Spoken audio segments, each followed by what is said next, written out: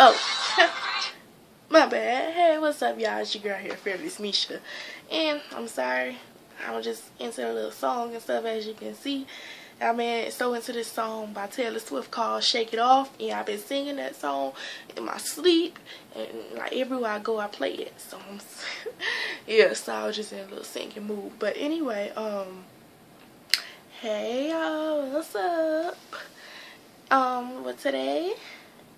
I gained a couple subscribers, so I just want to say welcome to my channel.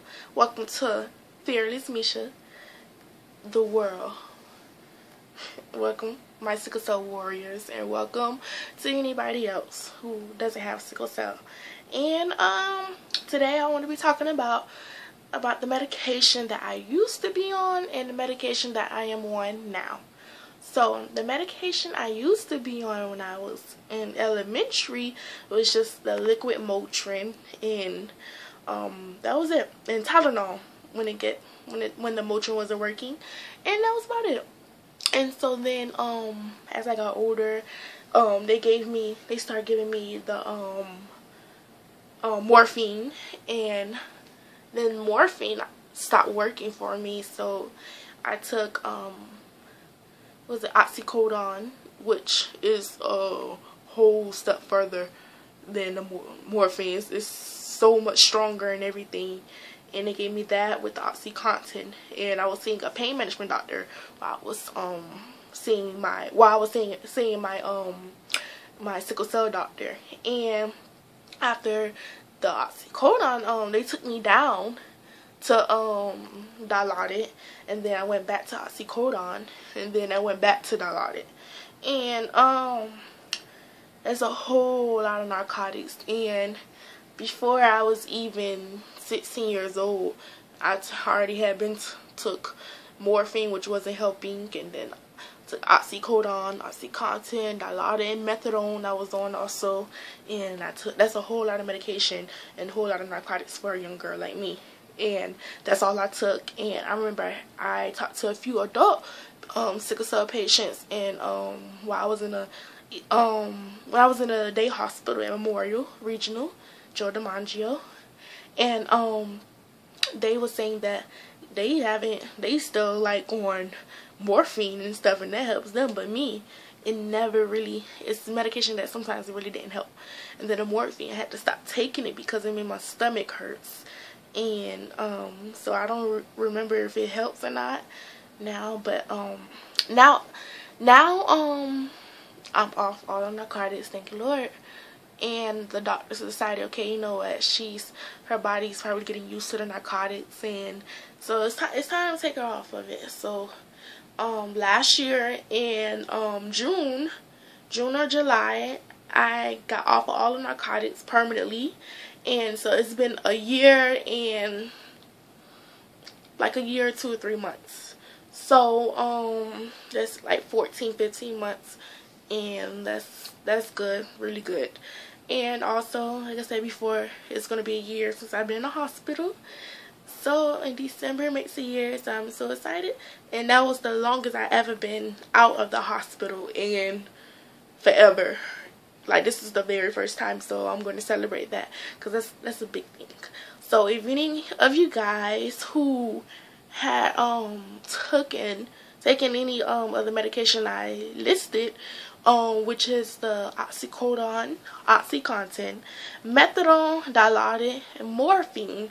Please leave in the comments below and let me know on which which one are you taking now, which one did you did take and try, which ones help, which ones does not help, which one has a bad side effect, which one are you allergic to, which one that you are not allergic to, and just stuff like that. And um, again, I want to thank you for um, for you all to subscribe to my channel. And um, thank you for following me on Facebook. Um, if you're not following me on Facebook, then my Facebook is at Fearless Meshi. Or you can just put in um, Dameshi Butler.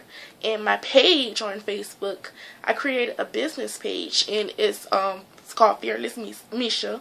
And then you can follow me on Instagram. My Instagram name is my Instagram name is fearless underscore Meshi. And um yeah, so that's about it. Um today I'm I'm feeling pretty good today.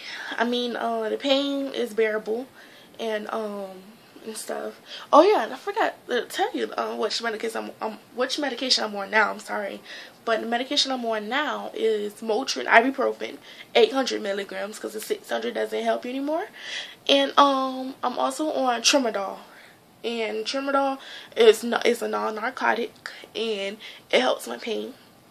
And um, so yeah, that's what I'm on now. That's the only medications I'm on now, and um yeah and i already said before the surgeries i had was my gallbladder and my spleen was taken out and but yeah but like i said i'm feeling pretty good today and i mean i'm i mean i know i'm gonna have pain every day and that's never like gonna stop but um like i said today was a good day and it wasn't bad i had a great day um in class today and um I just hope I continue to feel this way and just continue to have a good day.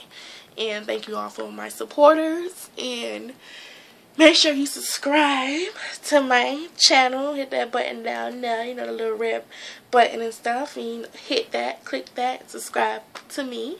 And make sure you like, thumbs up, comment, and share my videos, my vlogs to other people, to other sickle cell warriors. And um, just thank you again for watching this video watching my other videos. And like I said before just please just um your experiences with the medication and whether um you was taken off of it whether you never taken it before or which one you took which one you didn't take which one um just name like different medications and stuff. And um just leave it in the comments below your experiences with the medication with narcotics and whether you have taken narcotics before and whether you haven't taken narcotics before just leave at the comments below because i really want to um hear everybody's story everybody i mean everybody has a testimony in life not not just me everybody has their own testimony whether it's dealing with sickle cell or cancer or diabetes or any other kind of illnesses or it doesn't even have to be an illness. It can just be something else in life. You have a testimony. Everybody has a testimony in life. And i just want to hear everybody's testimony. I, I want people to um to know that I do care. I'm not just thinking about myself and just say, oh, I'm just going to talk about myself and I'm just going to say this and that for myself. I want to hear everybody else's on their opinions about things and I'm open to that. And um, that's what I'm here for. This is my channel is for. I'm open to anybody who has any questions for me, and I I am I'm hoping that you all open because I have questions for you all also.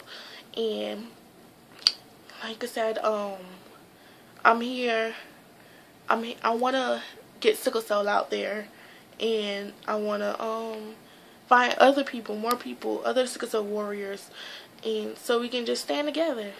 And I seen someone put on Facebook earlier today that they wish they had a hospital for sickle cell only.